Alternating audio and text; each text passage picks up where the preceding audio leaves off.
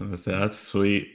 Oh yeah, that's that's the that's what, that's, that's what we were looking for. I think I might have to sign it on the chest or something.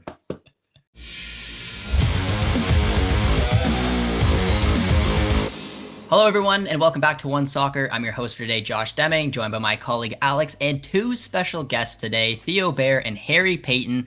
So, first things first, guys, I appreciate you guys coming on to talk with us today. Now, the pair of you have adapted very well since arriving to Motherwell this season from different Scottish clubs. How has that adjustment period been? Um, yeah, you know, it's been great um, coming into the league. Um, you know, we started off really well um, as a team, um, picked up some good points. We went through a little spell where um, we weren't winning games, we were drawing games, couldn't uh, get over the line and, and get the, the three points we needed. but we're back into a good uh, good position now. We got picked up a win and a, and a good tie against Hibs uh, before the uh, winter break, and uh, we're back now, just working hard and ready to get the second half uh, of the season going. Theo's the Canadian skin helping you guys over there because I mean it's freezing here, but here it's not as bad over in Scotland. Yeah, so yeah, it's funny because we'll come out wearing hats and gloves, and everyone will say, "Oh, you guys are Canadian. You don't need that." But we, our answer is we just prepare better than you guys. We're used to the cold, but we prepare better. We don't doesn't mean we just come out, you know, with the with the rough skin, shorts on and stuff. Uh, I'll be ready for it. Listen, I think that's what I've learned too. You get older, it's not it's not shame to wear leggings or have no. the gloves. you got to be ready for it. Um, sure. Like I guess speaking of experience, Harry, um, how have you handled being a bit more of a leader on this Motherwell side? You know, remember you come throughout Ross, Ross County, you're a bit of a younger player, but now you've come, you've been asked to kind of be a leader. How's that experience been? Um, yeah, it's been different for me at Motherwell. Um, I do have kind of a lot of experience, I guess, now under my belt, a lot of games in the Scottish Premiership. And uh, the manager brought me in, wanted to be kind of a bigger voice in the changing room and, and get my points across. And uh, we've got a really respectful team. There's no big egos in the team, which is really good, uh, which is a big thing and uh, yeah, just uh, like to try to lead by example, just work my hardest, and uh, yeah, for sure. Now, Harry, to that point, I know the last time we talked, you mentioned that your boss, Stuart Kettlewell, was a big part of why you went to Motherwell. What's it been like working under him again this season? It's been great. Yeah, he's a very passionate guy. He loves his football. Um, just even after this year, the a lot of work that he does behind the scenes is uh, it goes a lot unnoticed. Um, a lot of video sessions and things that we do, you know, like I said, behind the scenes that uh, him and his staff do for us to get the best out of us. And uh, I've worked with him previously, so I've known all about it. And um, to see it again with Motherwell and have the new boys in to see it is uh, it's good and it's been working really well for us. Hmm, Theo, you've really seemed to, to find a home for yourself in your first season with with Motherwell, getting an opportunity, getting in the goals, the assists you know, after maybe not getting as much of an opportunity to do that on a regular basis with St. Johnstone. So I guess kind of what's been the big factor you found and, and, and get that's helped you get comfortable in this first season? I mean, I think it's similar to to the reason Harry came to Motherwell. Um, the way the the gaffer kind of speaks to us, his his vision and the way that um, he teaches football, I guess, um, is is very intricate. He's he's very detail oriented, and I find that with detail, I I thrive a bit more and I'm I'm sure that's the case with the rest of the team as well.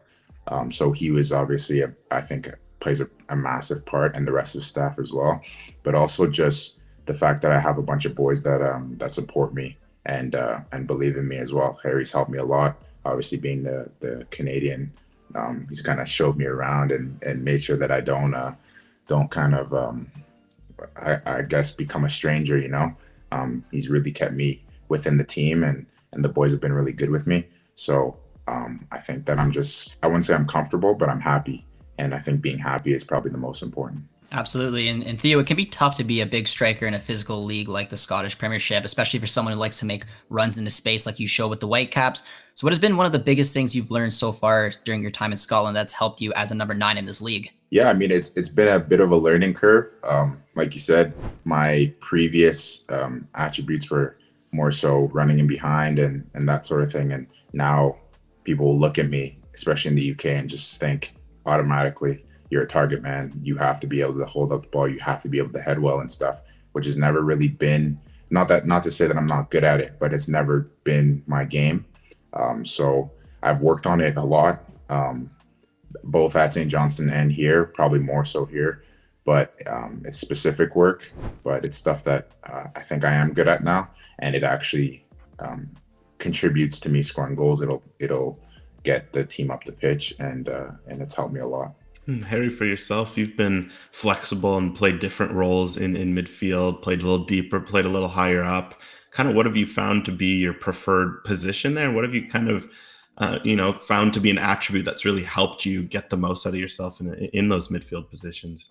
Yeah, over the years, um, been pretty versatile going through playing a bit deeper, um, playing more of an attacking number 10 role in the eight position. Um, I find well right now I'm I'm filling in with uh, the number six. I'm playing a bit deeper, um, just in terms of the shape with the team that we uh, that the manager plays.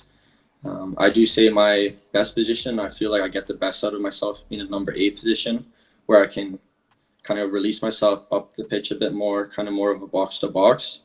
Um, but I've done a lot of work um, in the number six position, watching video, um, knowing positions to pick up, you know, take uh, less amount of touches when um, when needed. And you know, I do like to drive with the ball, so sometimes you know I'll I'll take my touches and get up the field. But I do feel like the number eight is kind of my best role. Um, but I do like to play multiple, and I can fill in at other roles. All right, Theo, this is the question I've been uh, waiting to ask ask you. You scored some pretty sweet goals against Livingston. Can you take us through some of those goals? Now, your assist I thought was pretty with the old chop. You had the the drop the defender, the cheeky chip. Just kind of walk us through that game because that definitely had been one of your best. Yeah, I, I would actually say that was that was probably my best game ever. Um, and yeah, the the assist, of course, it was. I, I, felt the guy. He even told me afterwards. He said, "Oh, if, if I knew you had that in your locker, I would have never slid." But I knew he was gonna slide. So um, a lot of the guy, boys say I should have completed my hat trick and scored it, but I knew that um, that my teammate Spittal would have scored it, so I, I gave it to him. Um, on the the the chop and chip, I I saw I had no angle on the shot. There was no way I was going to hit it with my right and score. Um, and I had shot previously from there, probably I think four or five games ago, and I missed. So I was like, I think I should chop here. The guy went sliding. Um, and then when I looked at the keeper, he's I think he's six seven or something. So he was filling the whole net. I was looking at him going, "Oh my God, where am I going to put this?" Um, and there wasn't really anyone in the box. I think Ollie was was coming a little bit late. Ollie Shaw. Um, so I I kind of faked to see what would happen, and he went really low. So I was like, "Oh, there's only one place I can put this," and chipped it over him. It was it was kind of blended, um, but it was it was calculated and definitely I keep telling people this is my second best goal ever. okay, well, we'll get to that. We'll get to that because Alex has got a question for you later. But Harry, I need to know what was going through your mind during it because I mean that goal made my jaw drop a little bit. So just you know being able to see it like that, what was your thought when you saw him score that goal? Uh, I was not surprised. I see him do stuff like that in training through the weeks, uh, but it's great to see that he's putting that into the games. And uh, I think the break might have came at a bad time for Theo. You know, he's begging in the goals, but he's um, we just had a friendly there the other night. He just picked up a hat trick, so he's still got that in him. So uh, is the next half of the season is going to be big for for the big man. I'll say Theo, just because we, we had to ask. I mean, you mentioned it being your second favorite goal, so I think I have an idea of what you'll say. But you know, stranger to the to bangers, I think it's a fun fact that your first ever pro goal was the banger of a goal against the Portland Timbers. Yeah. I was lucky enough to be in the building for that. Um, Josh thinks your chip is better. Which one uh, did you know stands out more to you as your favorite goal? You know, I I, I think the chip was a better goal because it it required more. I had to do a lot more just to build up and everything. But I like the other one more just due to the fact that right as it left my boot, and it was my first goal, but right as it left my boot, I knew it was going in.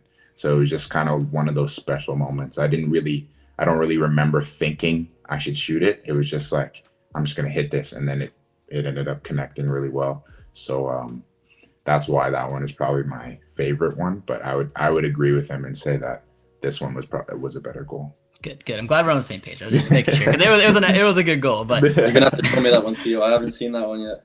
Oh, go look it up on YouTube. Y'all have fun. uh, Theo, Theo Bair, Portland Timbers. You'll you'll find it. Yeah. But um, Harry, going over to you now. Uh, you had the chance to represent uh, Canada in the 2023 fall window. You took the pitch against a team like Japan for your senior debut. How rewarding was it for your patience? Obviously, being in previous camps before and not getting the chance to finally get it now. It was huge. That was the the capitalist. That was the main goal for me to get that first cap.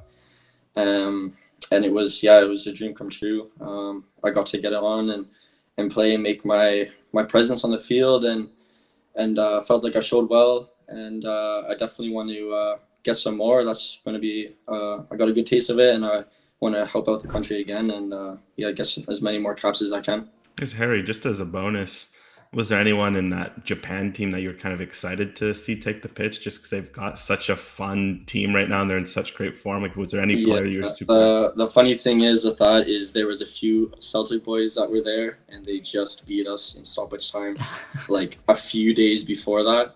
So I wanted to go on and have a little bit of revenge. So I got a couple good tackles against Kyogo. Uh, but they got the better end. They obviously won. Uh, but they're yeah, they're a great side. Um, and uh, yeah, hopefully we can have a rematch sometime. I guess Theo, on, on, that note as well, you've had the chance to play at the youth level for Canada. You've been in a senior camp, scored a senior goal. How important have those memories been to you, and how big of is a goal to to crack the team yourself, especially with you know the 2026 World Cup is approaching? Yeah, I mean, I I, I love Canada, of course. I I also have a, a Jamaican passport, so I have the possibility to play for Jamaica, but I don't think I would, given the circumstances I love my country, and I I really do want to represent the country on a, a more um, more often, obviously. Um, so yeah, getting back into the to the national team is a is a big big goal of mine, and it's not uh, it's not only just getting back into it, but I, I want to stay there. Um, so I think that um, again, playing with Motherwell, playing playing with Harry, um, being two Canadians in a in a really tough league is is going to help us and and we'll we'll definitely be able to get back into it if we if we continue the way we are. Absolutely, and scoring goals should give you a chance to do that, and also yeah. scoring goals will find yourself in EAFC's Team of the Week because from that match, like we talked about, you got your 83 overall card. Now, I'm not gonna lie, I grabbed it and I evoed it, into an 86 and scored a few goals with you. So I'm curious to see if you play the game and if you uh, you know bought your card because I mean Team of the Weeks are a little pricey. I had to buy it for th- about thirty-two thousand, but I- would say it was probably worth it. Yeah, I mean, I, I actually um, I bought the game because of the card, so I, uh, I, I ended up having to buy it. Um, I've I've played a couple of games. I actually have a, a giant cutout over there of the, oh, of the card that EA sent over, which is pretty cool. Um, but yeah, that was a, a, childhood dream of mine for sure. Something that, um, yeah, literally a boyhood dream. I remember my parents getting mad at me because I'd wake up before school at 6 a.m. to go get some Ultimate Team games in before I went. Um, so being able to use uh, an actual good card of mine in the game is, is surreal. I say, Harry, to that point, I mean, in this new game, you can Evo cards. There's been some pretty sweet Evo cards. I've seen your name pop up, some 88 cards of yourself. Have you ever had a chance to, to use those, or have any family members note, uh, hit you up being like, yeah, you can you know use that future. Say. Um, no, to be fair, I, I do get messages a few times on uh, on Instagram saying I just packed you on FIFA. Like this is so cool, kind of thing. Um, I do play a lot of FIFA with my brothers. Um, we do play more more pro clubs actually, just the three of us. Um, it's a lot of fun. We're always on it. Um, but yeah, uh, to be on FIFA is obviously like a dream come true, and for Theo to get a new team of the week, that's kind of uh, I was really jealous of him. Not gonna lie. just guess you got to go, uh, you know, score a goal, score a bang or something. I'm sure uh, yeah, the Canadian sure. guys at EA will notice you for that. Yeah, the old drop and chip that'll do it. But guys, I really appreciate the time. It was a really fun interview. I hope you guys enjoyed it, and best of luck for the rest of the season.